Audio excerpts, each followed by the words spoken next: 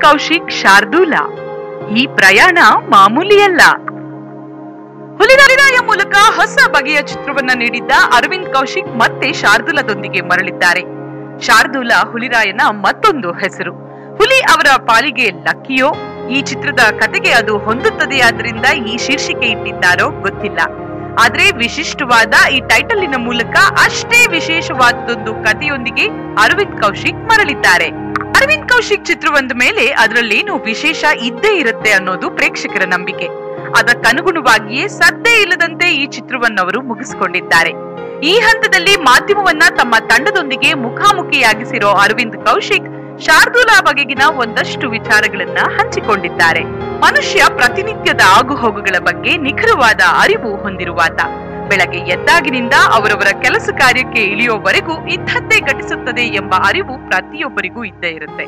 ಅದ್ರ ಬಗ್ಗೆ ಯಾರಿಗೂ ಕುತೂಹಲವಿರೋದಿಲ್ಲ ಆದರೆ ಹೊಸ ಜಾಗ ಗುರುತಿರದ ಜನರ ಮಧ್ಯೆ ಹೋಗಿ ನಿಂತಾಗ ಪ್ರತಿ ಕ್ಷಣಗಳು ಎದೆ ಸವರಿಕೊಂಡೇ ಚಲಿಸಿದಂತಾಗುತ್ತದೆಯಲ್ಲ? ಅಂಥದ್ದೊಂದು ಸೂಕ್ಷ್ಮತೆಯನ್ನ ಇಟ್ಟುಕೊಂಡು ಪ್ರಯಾಣದ ಜೊತೆ ಜೊತೆಗೆ ಕತೆ ಹೇಳಲು ಅರವಿಂದ್ ಮುಂದಾಗಿದ್ದಾರೆ. ರವಿತೇಜ ಮತ್ತು ಚೇತನ್ ಚಂದ್ರ ಈ ಚಿತ್ರದ ನಾಯಕರು ಐಶ್ವರ್ಯ ಮತ್ತು ಕೃತಿಕಾ ರವೀಂದ್ರ ಈ ಚಿತ್ರದ ನಾಯಕಿಯರು.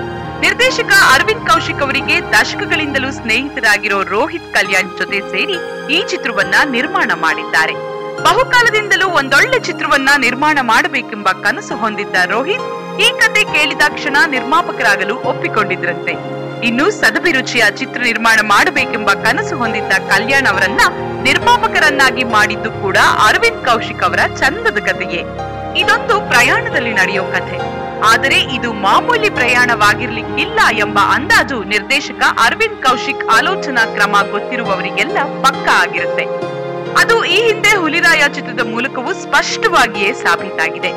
ಟ್ರೈಲರ್ ಹಾಡು ಮುಂತಾದವುಗಳನ್ನ ಪ್ರೇಕ್ಷಕರಿಗೆ ತಲುಪಿಸಿ ಶೀಘ್ರದಲ್ಲಿ ತೆರೆ ಕಾಣಲು ಶಾರ್ಪ್ ಆಗ್ತಾ ಇದೆ.